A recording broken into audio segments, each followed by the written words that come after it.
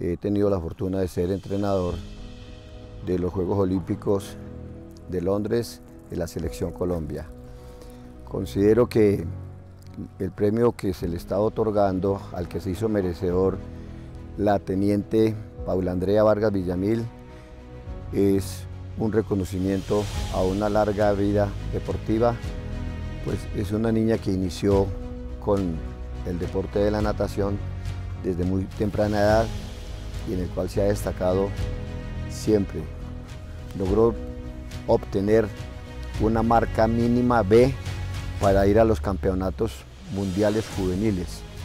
Desafortunadamente no eh, logró la marca A, pero estuvo muy cerca y realmente se retiró de la natación eh, para irse para la Escuela Militar José María Córdoba. Sin embargo, allí se sigue destacando primero como deportista, pero también como una gran oficial y desde la parte académica. Entonces, todos estos son logros de una niña que, a pesar de, de ser una persona supremamente dulce y tierna, también sé que ha logrado méritos en cursos que antes eran únicamente para hombres.